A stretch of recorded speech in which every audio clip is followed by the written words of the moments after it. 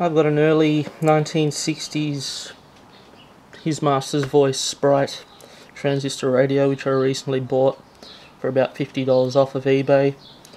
I'm a bit disappointed because um, I thought, you know, it wouldn't work, but it did, turned on fine. But that's not stopping me from actually having a bit of a tinker because uh, those electrolytic capacitors looking a bit old there as it's from the early 60s we're looking at probably at least about 50 years old thereabouts. So I decided to pull it apart give the uh, give all the plastic bits a bit of a clean. As you can see it's a beautiful red lovely red. With the um, schematic at the bottom. Uses germanium transistors. Even so I'm not going to pillage this thing um, for use to build you know to use to build the fuzz because God knows I've got well no I don't have enough fuzzes. I've got 20 something fuzzes but there's no such thing as too many fuzzes but I'd rather have the radio all intact.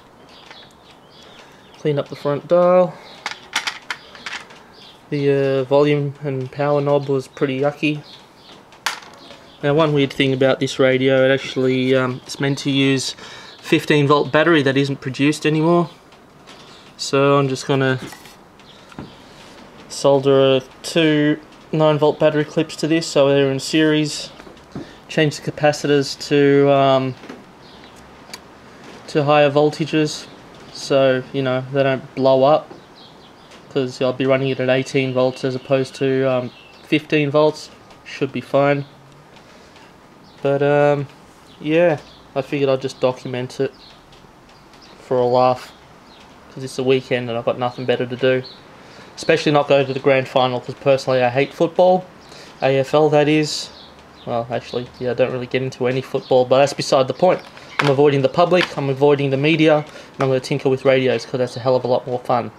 Alright, see how we go. Alright, here's the old capacitors all out. Replaced by new ones. Probably the lowest voltage one there is about 50 volts or so. Whoops, sounds like the neighbour's kids are back. Oh well, as long as they're having fun. And I popped a pair of 9 volt battery clips in series. Heat shrunk the existing connectors rather than rather than um, cutting them off because I thought that's probably not fair. It's old, isn't it? So anyway, I'm going to pop it back together now. Here it is all back together. I um, probably still got to get there with a cotton bud and clean out some of this gunk in these grooves, but otherwise it's relatively clean. I did use a toothbrush in soapy water while trying to avoid um, wetting what little paper bits there are inside. I didn't want to unstick them, potentially rip them, but there it is. It's a beautiful red all nice and shiny. Two 9 volt batteries are inside Close up of the dial. Let's turn this on. I think I got it tuned to 3CR because I want to avoid the grand final. Vehicle near the MCG. There we go. It's Artie Shaw and his orchestra. Working beautifully.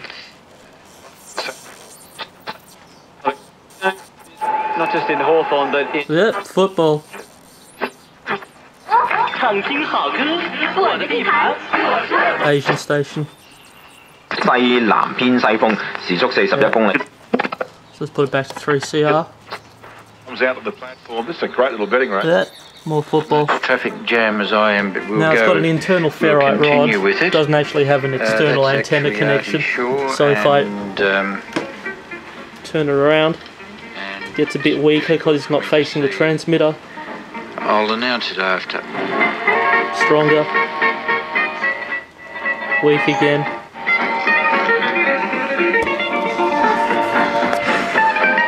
Works nice. Now running off of 18 volts, two 9 volt batteries in series.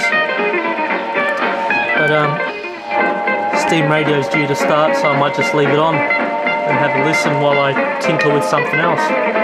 See ya.